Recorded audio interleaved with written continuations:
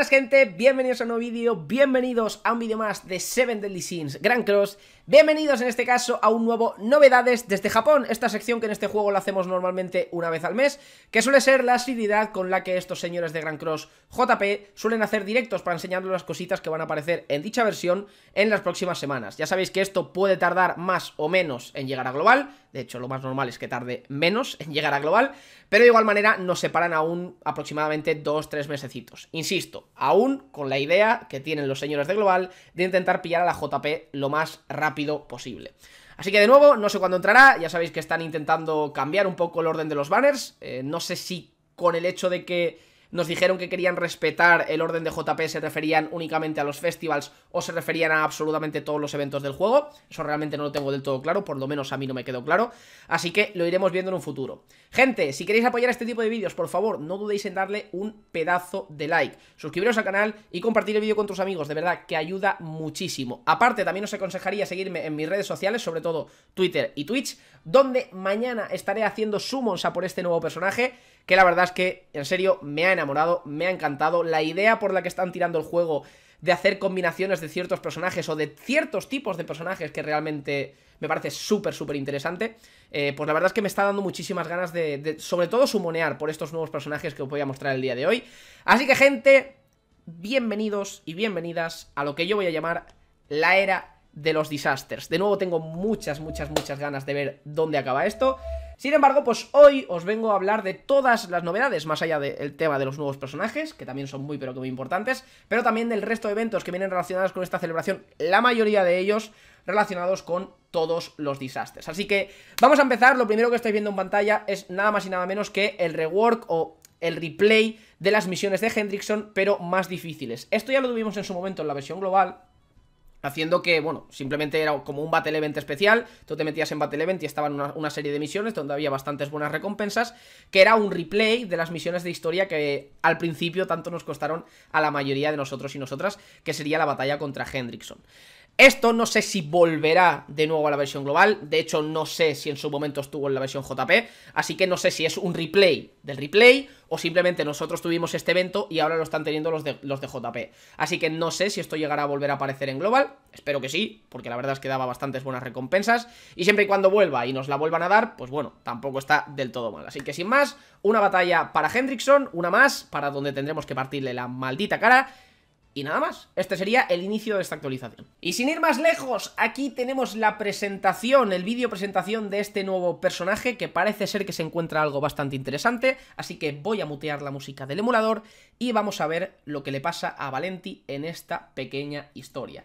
Sinceramente, me gustaría saber más sobre estos personajes, me gustaría saber bastante más del lore de ellos, y no sé si lo puedes encontrar dentro del juego, o tienes que buscarlo por ahí, pero la verdad es que me gustaría bastante saber, saber más cosas sobre estos personajes, realmente me, me han encantado, yo al principio no, no confiaba nada, ¿eh? pero me han acabado encantando.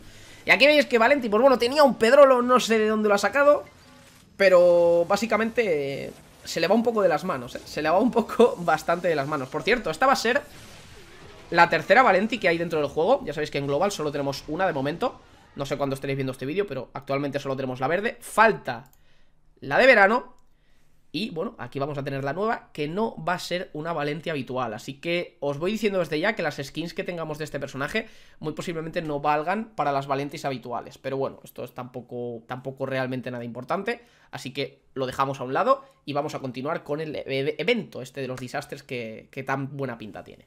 Y aquí tendríamos la primera parte del evento donde vamos a poder conseguir skins tanto de Lilia Awaken como de Mono.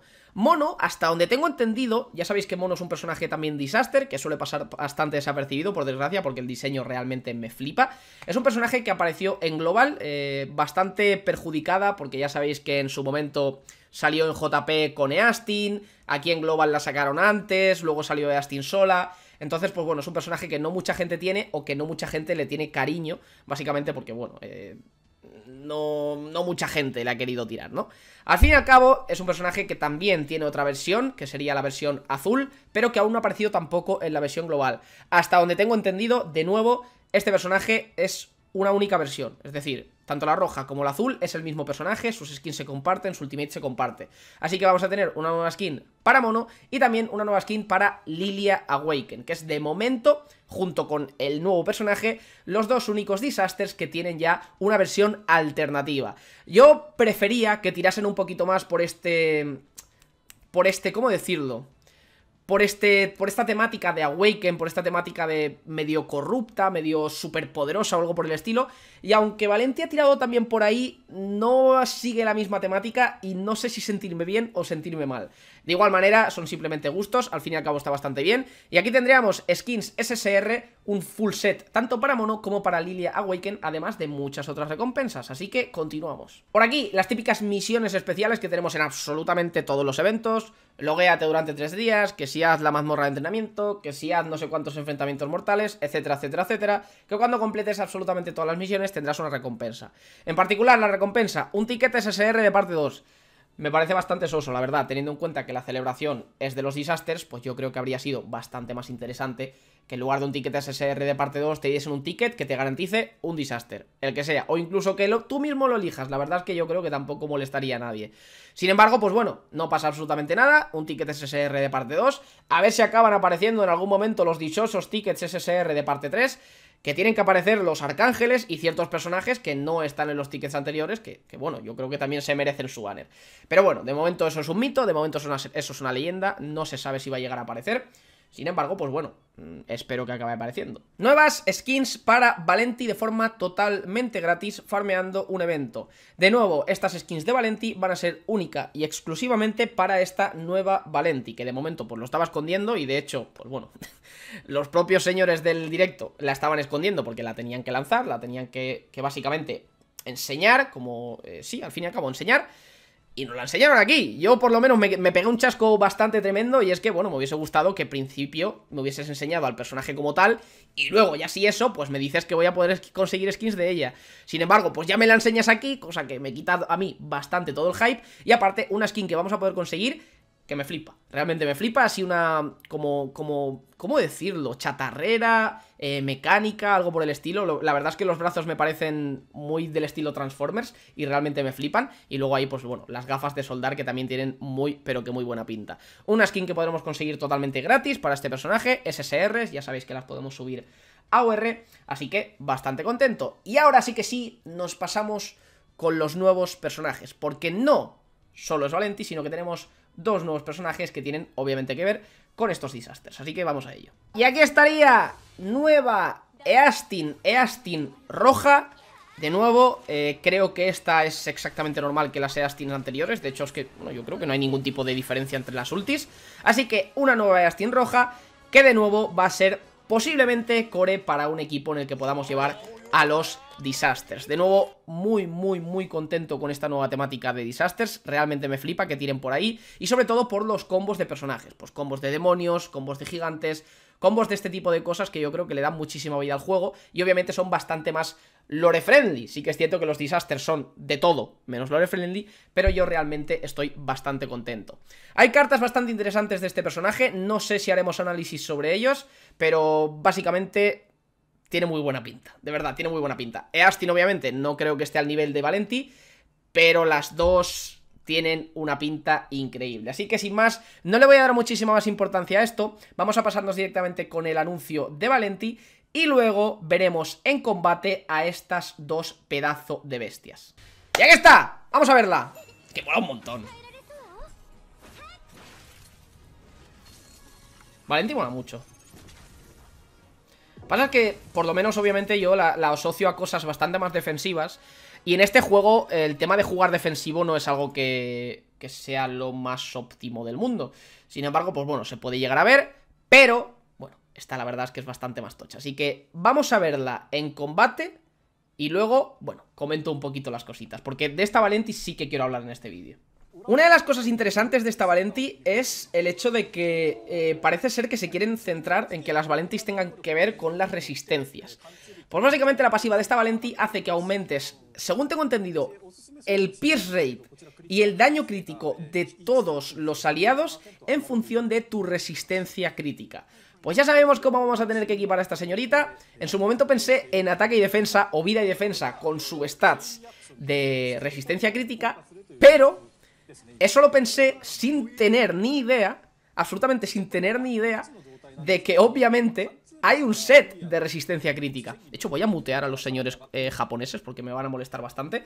Pero como sabréis, hay un set de resistencia crítica y eso puede hacer que podamos llegar a niveles absurdos de resistencia crítica y poder bufar muchísimo a nuestros aliados.